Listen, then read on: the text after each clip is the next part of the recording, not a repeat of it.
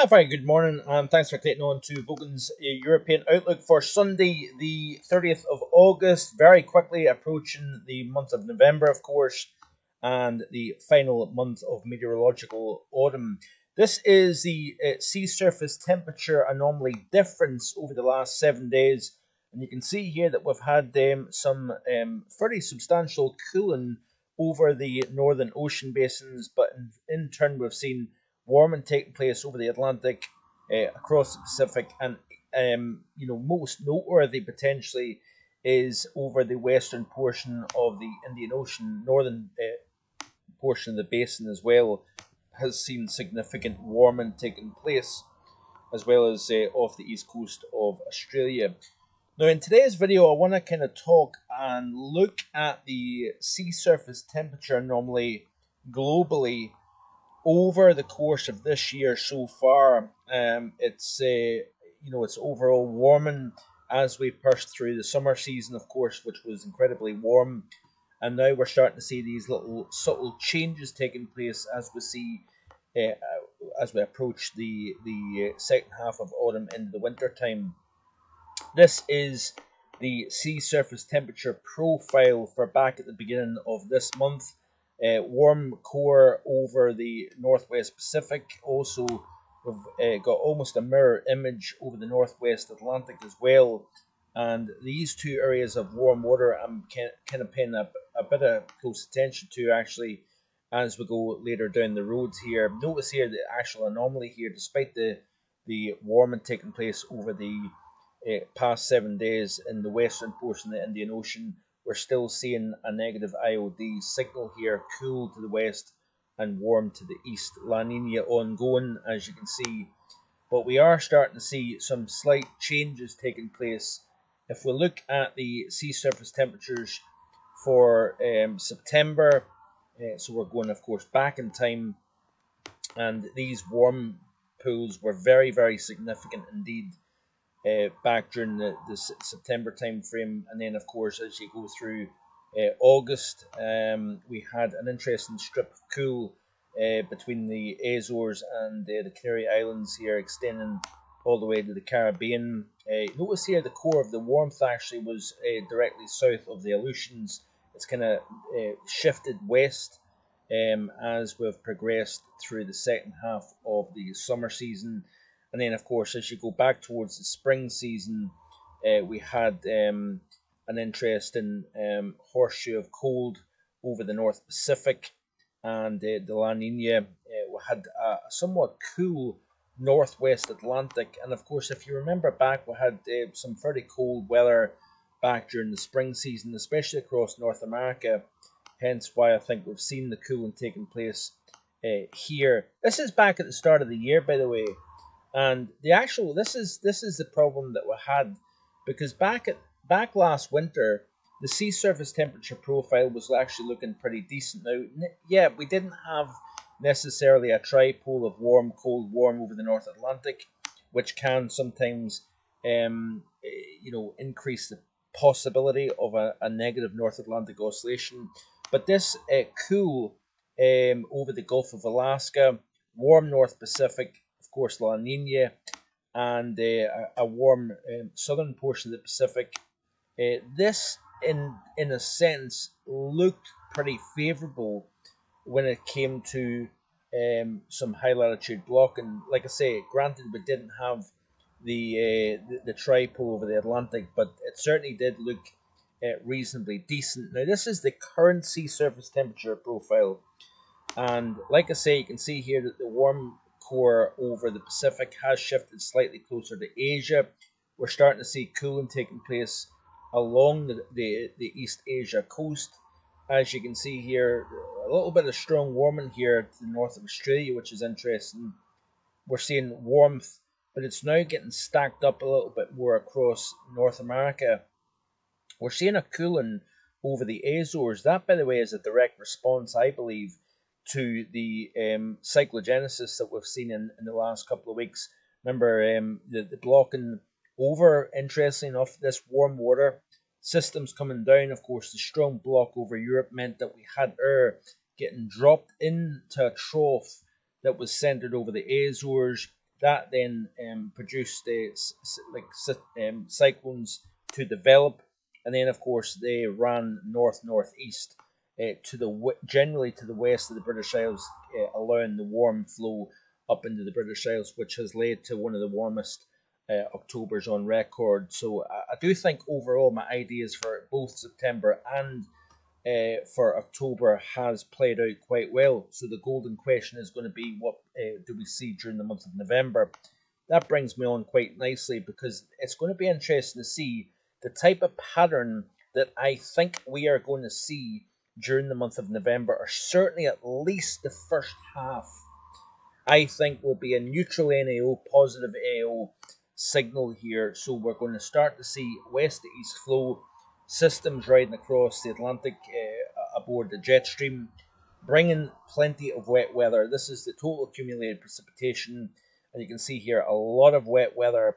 And uh, this has got the classic uh, firm Atlantic driven pattern written all over it, uh, where you can see here, especially along the western side of the British Isles and Ireland, we're going to see rain totals mount up quite significantly here. So this is just purely looking at this map here tells me that the modelling is indicating a fairly uh, troughy zonal west to east flow uh, from pretty much, if not North America, certainly over the Northwest Atlantic, and systems will fairly frequently pass across the British Isles. So we're going to see increased rain totals across the British Isles. Remember what I've said? Joe Bastardi over the years has said where the heaviest rainfall sets up during the autumn, particularly mid and late autumn. Remember October, November 2009, as well as 2010. Remember the winter that followed that. We're seeing increasingly wet conditions across the western half of the European continent. That is quite interesting. But what I'm I'm getting at here is we are going to start to see with this type of pattern winds increasing across the ocean surface and weather localized weather has a significant uh, involvement in in the, dictating the type of of, of uh, sea surface temperature anomaly you go back you only have to go back to the summer season august 1st warm waters across the North Pacific, across the North Atlantic, and we had very warm land masses surrounding this. You can see here that uh, this was back in on the first of September. Tremendous amounts of heat built up to the up against and close to the, the Asia coast, up against and close to the North American uh, portion of the Atlantic basin. And right now we are seeing cooling taking place over the Azores directly linked to the type of weather pattern that we've had in the last couple of weeks. Now, if we play through this peak wind gust forecast off the GFS, you can see where the strongest winds are going to be uh, are predicted to blow, and they will be primarily focused um, in and close to Ireland and the, the British Isles here. But notice as I play through this loop, we see uh, strongest wind gusts um, affecting a large swathe of the North Atlantic here, generally in a kind of west to east orientation.